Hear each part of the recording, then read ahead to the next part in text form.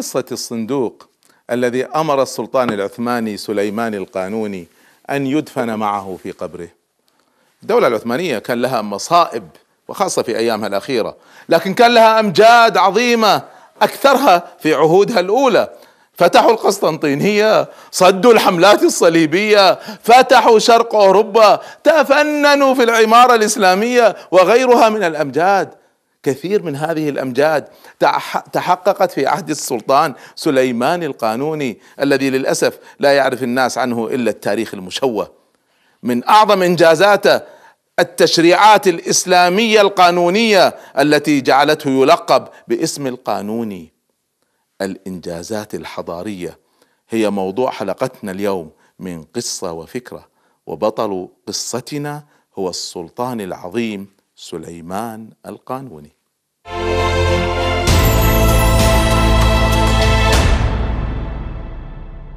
نحن الآن في القرن الأخير من الألفية الهجرية الأولى يعني في نهاية الألف سنة الأولى من الإسلام حيث الدولة هي الدولة العثمانية والسلطان هو الخليفة سليمان القانوني العثماني. الذي للأسف لا يعرف عنه بعض الناس أي شيء إلا من من خلال هذا المسلسل المنحرف الذي شوه سمعته حريم السلطان. أعرفكم به. ولد سليمان القانوني في طرابزون في عام 900 هجرية 1495 ميلادي. هذا على فكرة بعد سقوط الأندلس بثلاث سنوات فقط. وكان والده آنذاك واليا على طرابزون واهتم به والده. اهتماما عظيما فنشأ محبا للعلم محبا للأدب والعلماء والأدباء والفقهاء. اشتهر منذ شبابه بالجدية بالوقار. تولى السلطان سليمان القانوني الخلافة بعد موت والده السلطان سليم الأول في عام كما ذكرت لكم 926 هجرية الموافق 1520 ميلادية. عمره آنذاك 26 سنة فقط. وقد كانت الأعمال التي أنجزها السلطان في فترة حكمه كثيرة جدا ذات شأن عظيم في حياة الدولة العثمانية بل حياة المسلمين. في الفترة الأولى من حكمه نجح في بسط هيبة الدولة وضرب على أيدي الذين خرجوا عليها بلاة طامحين إلى الاستقلال يريدوا تفريق الأمة. معتقدين أن صغر سن السلطان فرصة سانحة حتى يحققوا أحلامهم. لكنهم تفاجأوا بعزيمة السلطان القوية التي لا تلين. قضى عليهم واحد تلو الآخر. تمرد الغزالي في الشام أحمد باشا في مصر جلبي في آه، قونيا ومرعش. وتعددت ميادين القتال التي تحركت فيها الدولة العثمانية من أجل بسط نفوذها على آه، كل من آه، يعني وصلت إليه. شملت في عهد سليمان دولة دولة سليمان القانوني الدولة العثمانية أجزاء من أوروبا وآسيا وأفريقيا. بل أنه سيطر على بلغراد في سنة 927 هجرية. ضم إلى دولته أجزاء من المجر بما فيها عاصمتها بودابست. كانت جزءا من دولتنا دولة الإسلام. وجعل بودابست والمجر كلها ولاية إسلامية عثمانية. في آسيا قام السلطان سليمان بثلاث حملات كبرى ضد الدولة ضد الدولة الصفوية التي تبنت المذهب الشيعي بتطرف وأسست له في إيران وحاولت أن تنشره في كل الأمة. هذا التطرف آثار إلى اليوم. اليوم ما زالت الأمة متمزقة بالطائفية من أسباب الدولة الصفوية. ولولا وقوف سليمان القانوني لكانت انتشرت. ليس هذا فقط.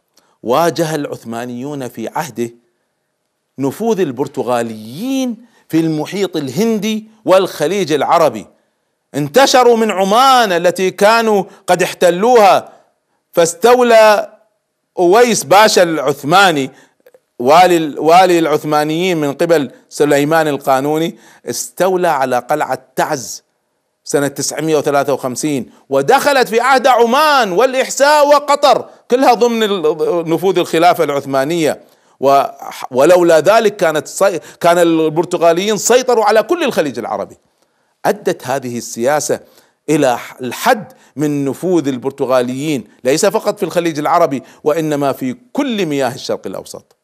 في أفريقيا دخلت ليبيا والقسم الأعظم من تونس واريتريا وجيبوتي والصومال كلها دخلت في ضمن نفوذ العثمانيين في عهد سليمان القانوني.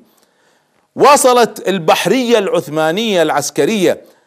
نمت نمو كبير جدا منذ أيام السلطان بايزيد الثاني لكن أصبحت مسؤولة عن حماية مياه البحار التي تطل عليها الدولة العثمانية. في عهد سليمان زاد قوتها على نحو لم تشهده ابدا من قبل.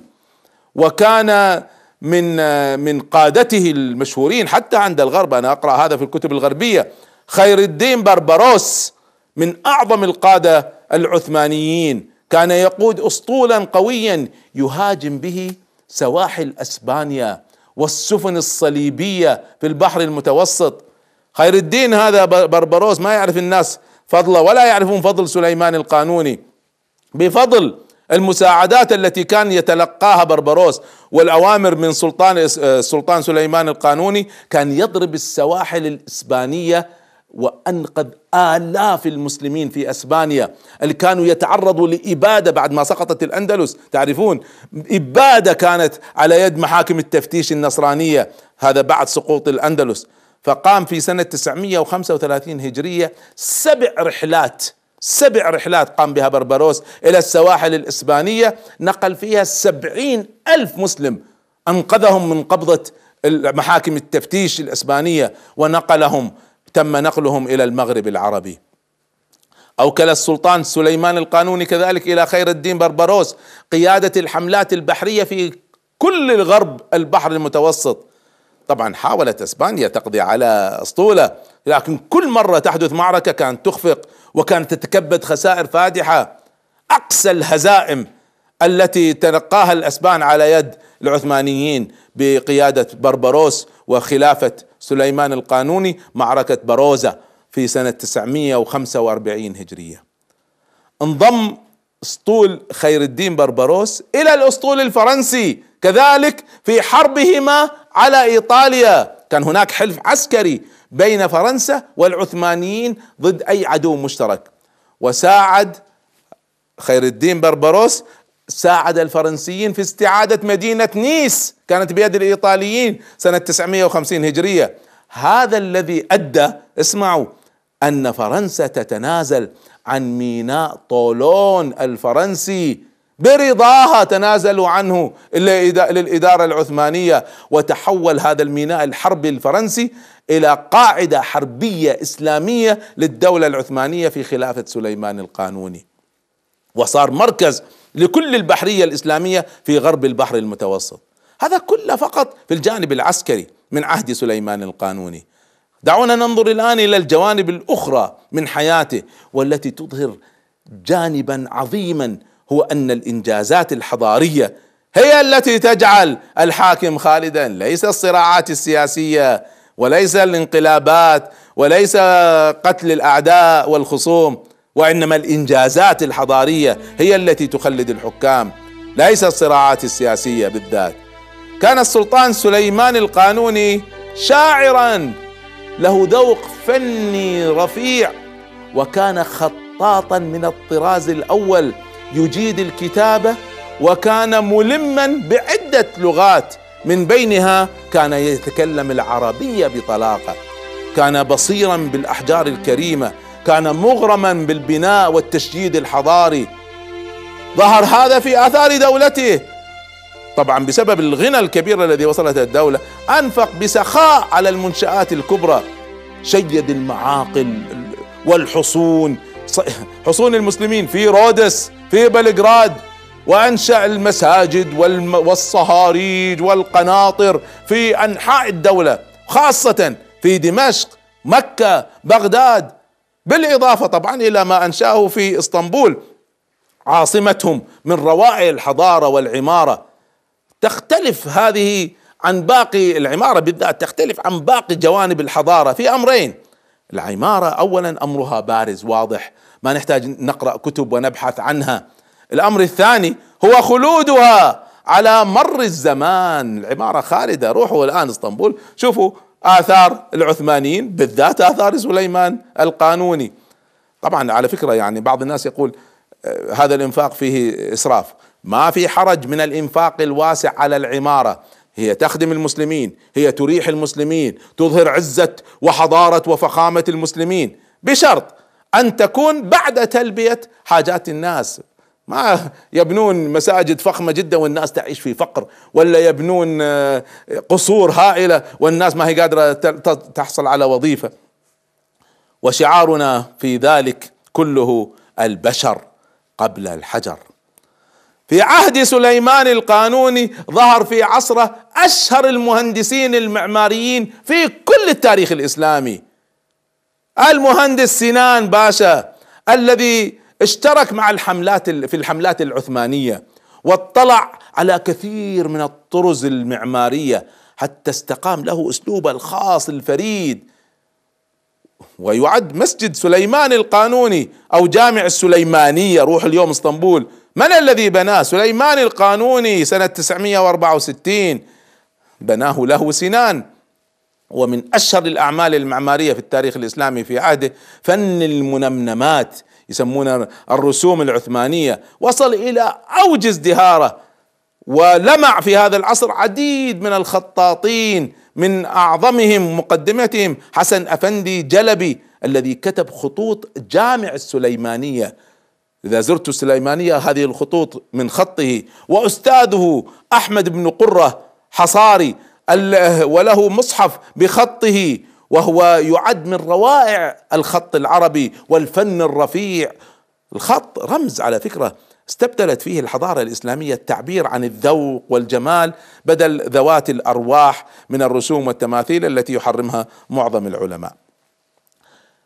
اهتم الخليفة سليمان القانوني بتوسعة كبيرة وهامة في بيت الله الحرام في مكة المكرمة ومهد السلطان سليمان القانوني مهد درب الحج الشامي الطريق من الشام إلى الحج الذي سلكه خط سكك حديد الحجاز فيما بعد في عهد السلطان عبد الحميد الثاني. قامت السلطانة خرم خاتون زوجة السلطان سليمان بإيصال مياه عين زبيدة إلى مكة المكرمة. أكملت ما بدأته السيدة زبيدة وكان الماء قد انقطع. زبيدة زوجة أمير المؤمنين هارون الرشيد هي التي أوصلت المياه إلى مكة. جاءت زوجة سليمان القانوني وكملت ذلك. العبادة كانت مصدر لتحريك الحضارة في الإسلام والحج كان بالتأكيد مصدر رئيسي من محركات الحضارة. في عهد سليمان القانوني ظهر عدد من العلماء الكبار في مقدمتهم. أبو السعود أفندي صاحب التفسير المعروف باسم إرشاد العقل السليم.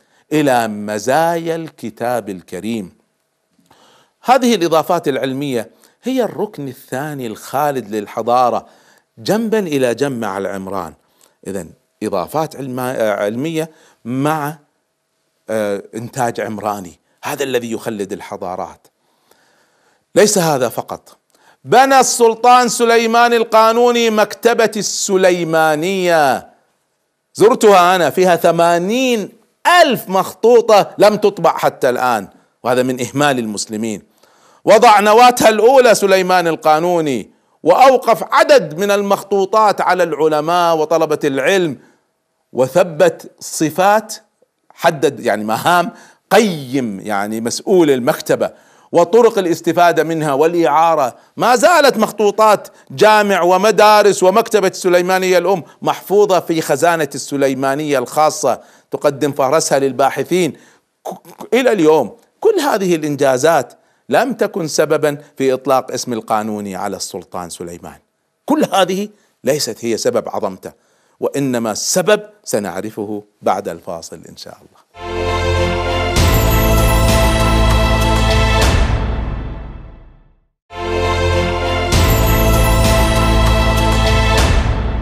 أحييكم وأرحب بكم مع قصة وفكرة. وحديثنا عن السلطان العظيم سلطان العثماني سليمان القانوني. وحدثتكم عن الإنجازات العسكرية الضخمة التي حققها والإنجازات الحضارية العمرانية وغيرها التي تحققت في زمانه.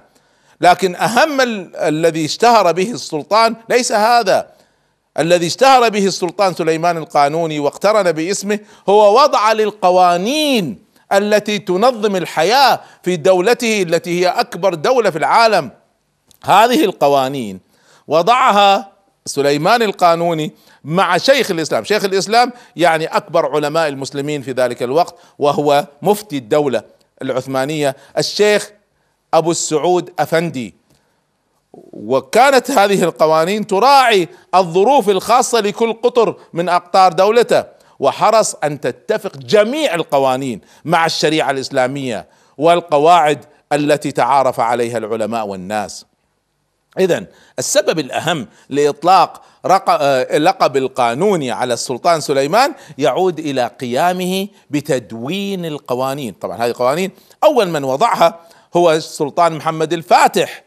ثم طورها آه، السلطان بايزيد الثاني. لكن في عهد سلطان آه، سليم تم تطويرها أكثر وأكثر فكانت مدونة في السابق إلا أن السلطان سليمان كان أفضل من قام بتحريرها وتنظيمها وترتيبها وصارت هذه القوانين قوانين على مستوى عالمي. اذا هو الذي قام مع من معه بوضعها وتدوينها ضمن القوانين العثمانية.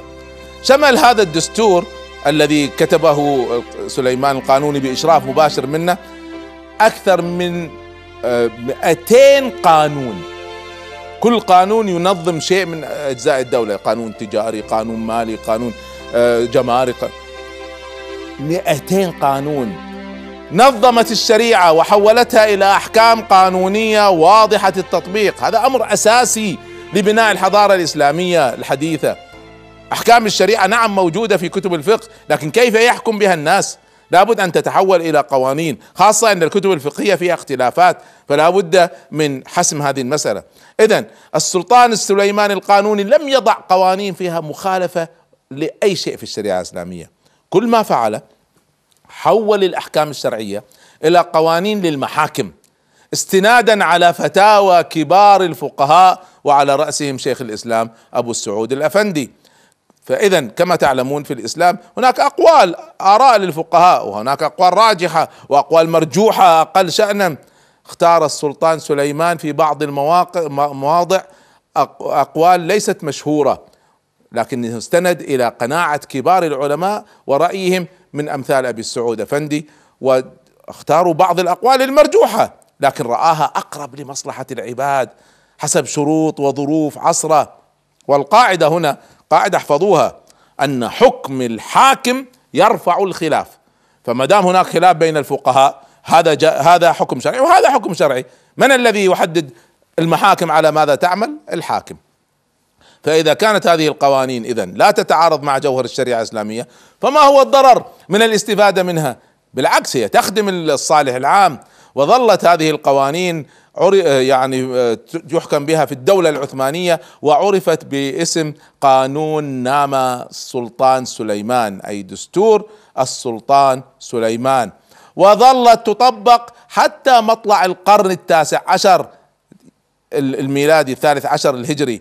ونحن ما زلنا اليوم بحاجة لمن يدون لنا دستور متفق عليه للدولة الإسلامية يتوافق مع الشريعة ويعني يجيب على الأسئلة الكبرى. نعم هناك محاولات تعددت المحاولات والاجتهادات في عدة بلاد لكن محتاجين أن علماء الكبار يتحدوا على رأي واحد في هذه المسألة. اذا لم يطلق الشعب على السلطان سليمان لقب القانوني لوضعه القوانين وإنما لتطبيق هذه القوانين بعدالة ولهذا يعد العثمانيون الألقاب التي أطلقها الأوروبيون على سليمان في عصره يعني الأوروبيين كانوا يسمونه سليمان the Great أو سليمان the Magnificent الكبير العظيم. يعتبروها أقل أهمية وأقل أثر من اللقب العظيم القانوني لأنه هنا لا يتكلم عن القانون وإنما يمثل العدالة. اذا لم يكن عهد سليمان القانوني آه، فقط العهد الذي بلغت فيه الدولة أقصى حدود لها من الاتساع وإنما هو العهد الذي تمت فيه إدارة أعظم دولة في العالم بأرقى نظام إداري والإدارة كما تعلمون ركن أساسي للحضارة. هل فكروا معي هل يوجد مجال واحد في الحياة؟ أي مجال؟ لا يحتاج ولا يعتمد على علم الإدارة. اذا كان رحمه الله تعالى على مقدرة كبيرة من التنظيم والتشريع بالإضافة أنه كان ورعا حريصا على ألا يخالف الشريعة في شيء. وكان الناس يستدلون على يعني حرصه على الشريعة أنه نسخ بيده القرآن ثمان مرات. يعني مش قرأ القرآن ثمان مرات كتب القرآن كاملا بيده ثمان مرات وهذه النسخ ما زالت موجودة اليوم في مكتبة مسجد السليمانية في إسطنبول. القوانين التي وضعها سليمان القانوني ودونها في عهده شكلت ثلاث مجلدات ضمن مجموع كل القوانين العثمانية التي صدرت ونشرت في 12 مجلد. كما ذكرت لكم قوانين تشمل أكثر من 200 قانون منظم لكل ما تحتاجه الناس وفق الشريعة الإسلامية.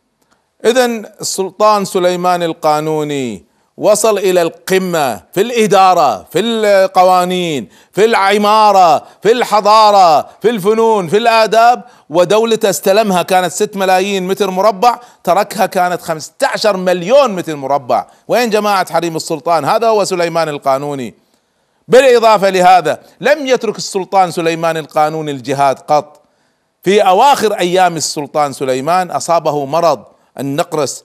كان ما يستطيع يركب الخيل. لكن كان يتحامل على نفسه اظهارا للقوة أمام اعدائه بلغ عمره 74 سنة ومع ذلك عندما عرف أن ملك الهايسبرغ أغار على ثغر من ثغور المسلمين قام سليمان للجهاد بنفسه مع أنه في شدة الألم شدة المرض وقاد الجيش بنفسه وخرج على رأس جيش عرمرم في التاسع من شوال 973 هجرية أبريل 1566 ميلادية وصل إلى مدينة سكتوار المجرية. كانت من أعظم ما شيده المسيحيون من القلاع في العالم في ذلك الوقت. مشحونه بالبارود مدافع. نصحه الأطباء نصح طبيب الخاص. ما ما يصير تخرج. هذا النقرس الذي بك قد يؤذيك قد يقتلك. فكان جواب السلطان سليمان الذي خلده التاريخ أحب أن أموت غازيا في سبيل الله. كان عمره وصل إلى كما ذكرت 73 أو 74 سنة. كان يملك تحت قبضته نصف الدنيا ملوك الأرض كلهم يخشونه كان بإمكانه يتمتع بحياة القصور وحريم السلطان ومع ذلك أبى إلا أن يخرج غازيا في سبيل الله. وفعلا خرج بنفسه على رأس الجيش وهو لا يستطيع أن يركب جواد. وازدادت عليه علة المرض. فكان يحمل في عربة حتى وصل إلى أسوار المدينة وابتدأ في حصارها. وفي أقل من أسبوعين استطاع أن يكسر معاقلها الأمامية وبدأ القتال واشتد النزال. وكان أصعب قتال واجهه المسلمون بسبب متانة الأسوار. لم يرى المسلمون أسوار مثلها. واشتد النصارى المسيحيون في الدفاع عن حصنهم. واستمر القتال والحصار خمسة أشهر كاملة. والفتح صعب. وازداد صعوبة على صعوبتهم أن المسلمين يعني أمام هذا الحصن لم يروا مثله وسلطانهم مريض. واشتد المرض فعلا بالسلطان. وشعر بدنو أجله. فأخذ يدعو بصدق بتضرع إلى الله تعالى. يقول من حضره سمعوه يقول يا رب العالمين افتح على عبادك المسلمين وانصرهم واضرم وأضرم النار على الكفار أعدائهم. واستجاب الله تعالى دعاء السلطان فأصاب أحد مدافع المسلمين بالخطأ. ما كانوا يقصدون هذا؟ خزانة البارود اللي داخل الحصن. وانفجر البارود بالحصن انفجار هائل من داخل القلعة وأخذت أخذ الانفجار جزء من الأسوار ورفعها إلى السماء. وفورا هجم المسلمون على القلعة وفتحت القلعة ورفعت الراية العثمانية على أعلى مكان من القلعة. لما وصل خبر الفتح للسلطان سليمان القانوني فرح وحمد الله تعالى على هذه النعمة العظيمة وقال الآن طاب الموت. خمس شهور من الحصار بعدها خرجت روحه إلى بارئها في صفر 974 هجرية الموافق سبتمبر 1566 ميلادية. فهذه قصة هذا السلطان العظيم. انظروا لما نحكم بالشريعة ندمجها بالإدارة نحسن الحضارة نحسن الفنون وتكون للمسلمين قوة جهادية حقيقية. هذه هي قصة سليمان القانوني وليست قصته حريم السلطان.